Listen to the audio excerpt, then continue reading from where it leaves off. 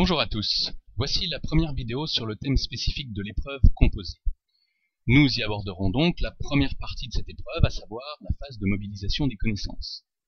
Mais avant cela, n'oubliez pas que vous pouvez retrouver un cours complet de sciences économiques et sociales sur le site coursdeses.fr.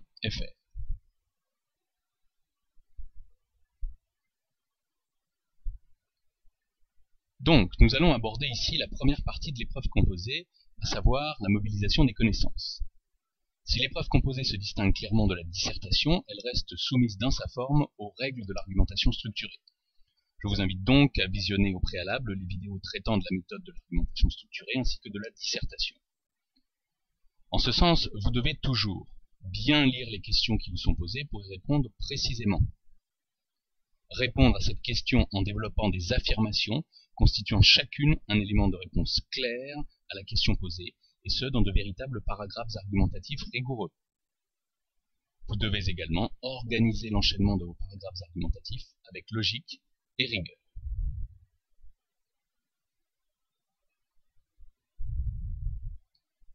Alors, avant d'aborder euh, le C1, autrement dit la première partie de l'épreuve composée, je vous propose une vue d'ensemble de cette épreuve composée. Elle se compose de trois parties distinctes portant sur des points différents du programme officiel.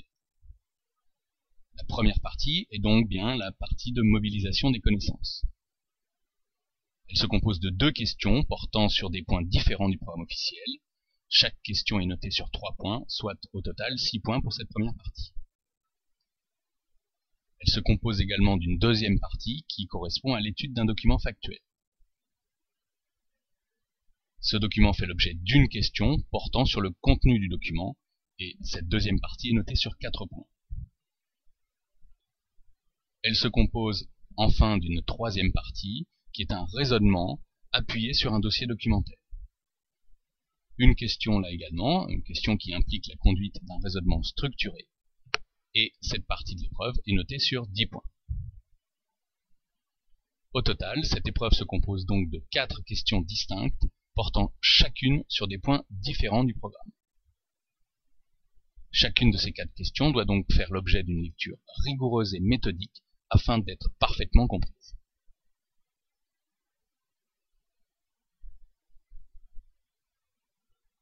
Alors, concernant spécifiquement la première partie, dite donc de mobilisation des connaissances. Cette première partie, comptant pour 6 points sur 20, vous devez donc y consacrer environ une heure.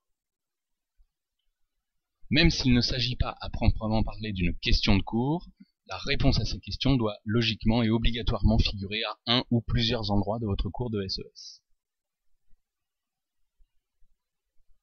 vous devez cependant vous méfier de cette tentation naturelle à réciter purement et simplement votre cours tel que vous l'avez appris. Pensez à répondre précisément à la question qui vous est posée. Il faut donc bien prendre le temps de lire chaque question pour s'assurer de bien répondre à cette question précise qui vous est posée. Et donc, euh, vous devez pour cela appliquer la méthode de lecture et de compréhension du sujet et d'analyser un à un chaque terme de la question. Par, par, ailleurs, si votre réponse à chaque question implique la présentation de plusieurs idées distinctes, n'oubliez pas de structurer votre réponse et de la mettre en page à l'aide de plusieurs paragraphes clairement visibles, c'est-à-dire notamment qui commencent avec des alinéas.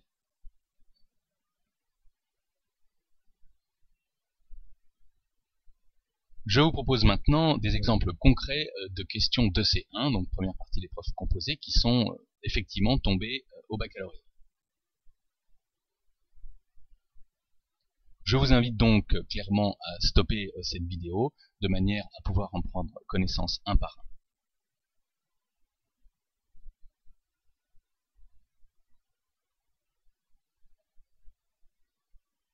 Dans la prochaine vidéo, nous aborderons la deuxième partie de l'épreuve composée, à savoir celle qui concerne l'étude d'un document factuel.